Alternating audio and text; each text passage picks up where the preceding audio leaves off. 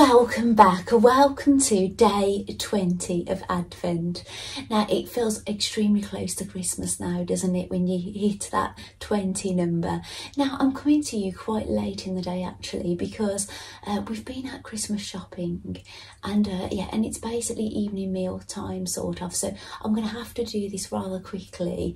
Um, but yeah, hopefully you'll see something you enjoy. So I'll do the Advent calendars uh, and I'll talk about what I've completed, what I'm up to, and something that's come through the post. Well, actually, the eagle-eyed in you might be able to spot one of the things that came through the post at the very, very end of my video yesterday. But as it happens, I did a split screen, and one half was a photograph of my husband and I in front of a Christmas tree in Warwick Castle, and the other side was actually the thing that came through the post. And the reason I put it at the end is because I was going to show you during the video, and then I totally forgot. But there you go, that happens, doesn't it? So let's open the backstitch calendar first.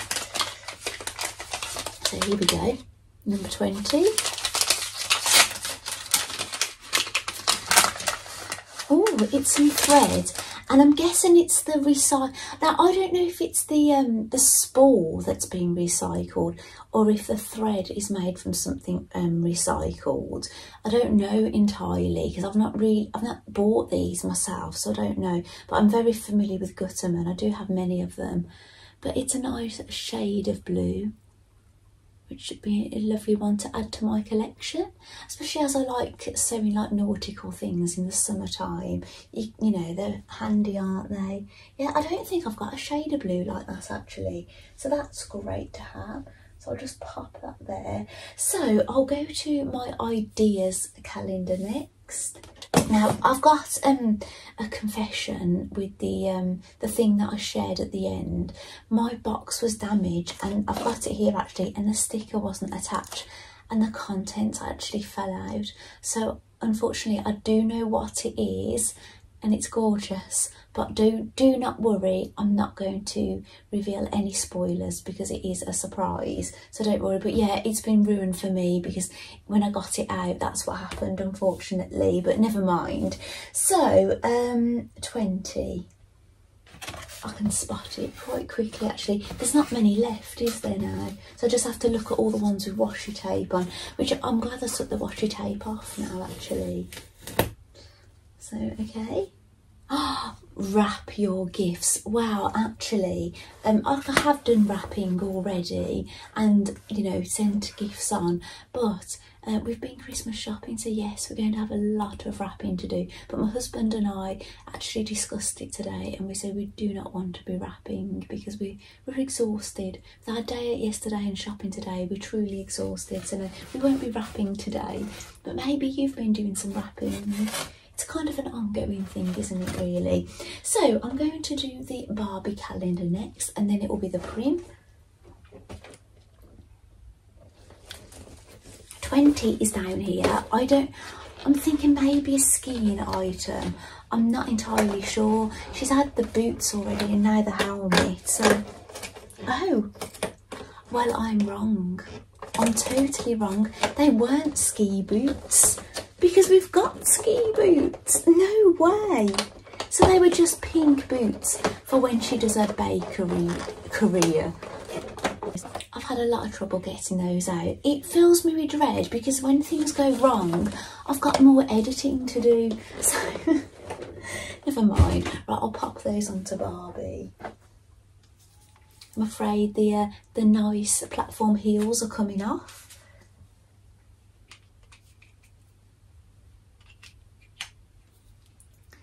There we go, ski boots. Now these might have to come off. If she gets a ski outfit, um, I might have to take those back off again. But yeah, she's start. She's looking rather strange at the moment, isn't she?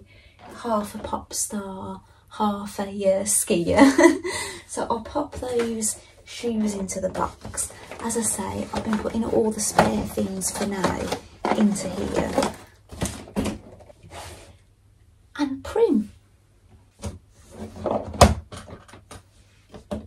Oh, it's here.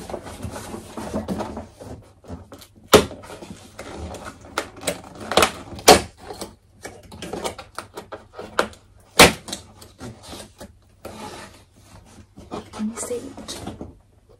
I thought there wasn't anything in there then. Oh, I'm wearing my um, sweater by Nina Lee. South Bank sweater, the cropped version. Oh, it's a thimble. A rubbery one, a purple and white one. That feels very comfortable on my finger. Oh gosh, I've got some good news. Do you want to see something? Can you spot it? Yes, basically, uh, do you remember I found my wedding ring, which I was delighted, but I did know where it went roughly. I just had to have time to rummage for it. Well, I was loading my rings onto my little ring, because I've got two ring holders. One I keep on my dressing table, one on my bedside, but sometimes I put hair bubbles and things and bracelets and things on them. Well, I've got a thermometer thing on my bedside and it had kind of my engagement ring was behind there so it must have been that I'd gone to attempt to hang it on there and it didn't go on it fell behind. And then I thought well where is it, it must have fell off my finger. So it didn't fall off my finger after all. So now I've got all my rings back and I've got something. Well I don't know where it is right now but you know what I um, wrapped up? Has that camera dropped again? My goodness Sorry about that. It's getting worse, isn't it? Um, I wrapped up my ski glove in my husband's Christmas present because the one glove was here and I couldn't find it anyway. Well, I hadn't used my hand this particular handbag in a while it was only the other glove was in my handbag so I hadn't wrapped it up after all. So I've actually given those to my middle son because he'd been saying he could quite like some ski gloves. So yeah so he's got them. So I've basically been reunited with my gloves and my rings all in a short space of time. It's like everything's come together nicely hasn't it? So that's great isn't it? So is that everything? Prim? Back stitch yes Barbie, my ideas, yes. So we can talk about some exciting things now, can't we? So, yes, the thing that I forgot to show you was my secret surprise by Cool Crafting. But as you might be able to see, my sticker is hanging off. And the the box was a bit dented. I've kind of pushed it back in, but the things fell out. So I did see what it is. So yeah, don't worry, I'm not going to reveal anything to anybody. But yeah, it's really, really nice, really exciting. So yeah, I'm really, I'm kind of glad I know actually. So um, but yes, I understand people might want to open it Christmas Day. So yeah, that's fine. So, but I did know last year I did it I opened it on purpose but I wasn't going to this year. I was going to be really good. Now um I finished my crochet monster right? Now you've seen the the holly berry monster. So it's got like a, a berry head green body. This is by Toft it's crochet. And you do kind of like funny arms that are meant to be like holly leaves. So that was the one, and it was a part of a two set that I got from Toft. Now, I said I've got this in the Black Friday sale, but I'm not entirely sure. Maybe I got it during another sale, but I tend to wait for the sales. But this came basically in this bag with the supplies you need to make it and a pattern. And that's the two of them there, like that.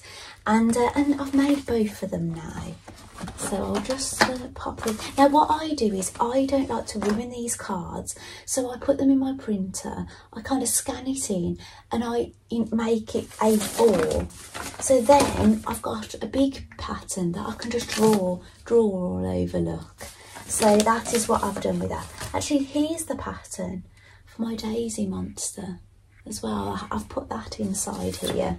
So, so here it is. So my little um, Holly monster now has got a little friend. Rowan, you said needs a little friend. So yeah, I've got the two of them now. So uh, I just, I must admit that one's head looks a bit bigger.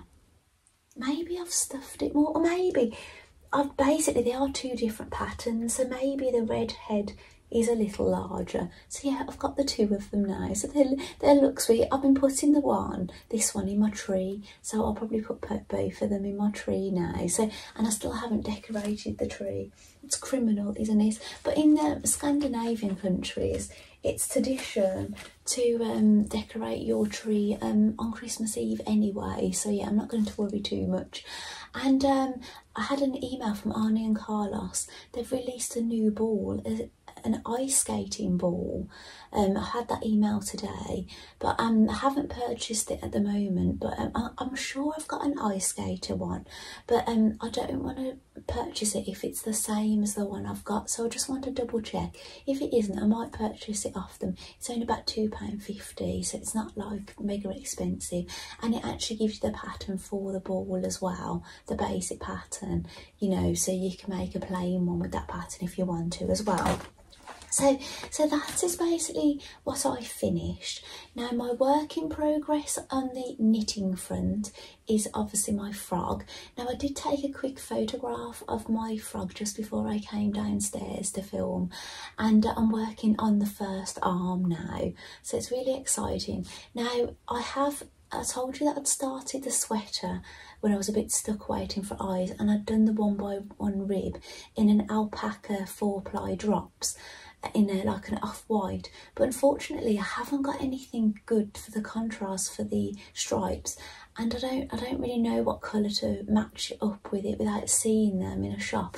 So I'm, I think I'm going to knit a cotton sweater where I've actually got the cotton yarns and if I don't like it I can always knit another one can't I? You never know it might fit one of the Barbie dolls. I could always I can probably find another another item that wants to wear it anyway or that I like on it so um so that is on the knitting front now the sewing front I finished my Christmas crackers so my intention next was to make my um, thing that I want to wear on Christmas Day. Now obviously the weather's a little bit up and down at the moment so I'm going to check the temperatures and um, yeah I make a decision and then I'm thinking will I have something I want to wear on my bottom half with this item. So I might end up wearing what I wore for Christmas dinner last year, the, gl the glittery jumper but uh, yeah I might end up making this jumper I'm not entirely sure. It's kind of like um quite a lightweight jumper with a, a low round neck and things. So it could be dressmaking that I do next. Or I'm thinking I might um, make something Tilda Christmas next um, on my sewing machine because I know I've got well I was thinking the ice skater that Sharon sent me um, but I have got a Sleepy Santa, so I am tempted to make, I've got the kit to make it, I've had for quite some time, so I might make this Sleepy Santa next, because that's more no, is it? Yeah, because that's more seasonal. Where I know you might think, well, a figure skater um, Tilda doll is very seasonal, but for me, because I am a figure skater, it's an important thing for me all year round, isn't it? So yeah, so I could leave that one till after Christmas. But yeah, but I haven't totally made a decision, and obviously it's when I get time to sit in the uh, at my sewing machine, I get more knitting and crocheting done because I do have to sit down sometimes in the evening, and that's when I get the crochet hook out or the knitting needles because I can kind of relax at the same time. Now, now I've finished my crochet project, I always like to get something started and the next thing is going to be probably that cabin set, that thing I bought in the Black Friday sale this year with the little the little mug and the hat and the sweater to go with the cozy cabin doll. So yeah, I think that's going to be a very big project. It might not be done this side of Christmas, but yeah, it's something I'm going to be working on next. So it might take a bit longer than these have taken me to do. And to, um, to finish off um, today, I will leave you a, little video at the end with music, which I haven't actually done yet, but I will do it. Um, I've had a delivery of yarn, which I did tell you that I'd ordered. And it's the Rowan wool. And basically, this is what Arne and Carlos use to make their Advent sweaters. Now, I have made one of the sweaters once before, and I used um, a Stylecraft Live Special yarn. So it's got a mixture of wool and acrylic and a woolen for the for the neck and the cuffs and the the hemband and I embroidered number 14 well I Swiss darned 14 into it and some little love hearts and I use it to put on my wooden uh, doll um, you know like those little wooden drawing men uh, for a valentine decoration holding the heart knitted balls well basically that I've only knitted that one and it's a plain one but this is to make the colour work ones and these are the actual colours they used um, on their sweaters. So if you've been watching them and they've got all their little sweaters, um, that's what I'm going to be making and, they're going to all look exactly the same as theirs because I, I just chose what they said in the pattern.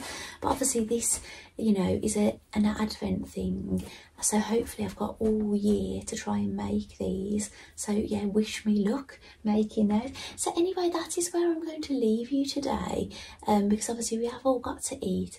But um, I'm sorry that it's not quite as exciting as yesterday's video when I took you out to Warwick Castle. But that you know, these things happen, um, you know. But anyway, so thank you so much for joining me today and I'll see you again tomorrow. Thank you. Bye.